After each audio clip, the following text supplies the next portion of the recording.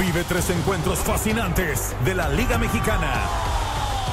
Iniciamos con Cruz Azul contra Mazatlán.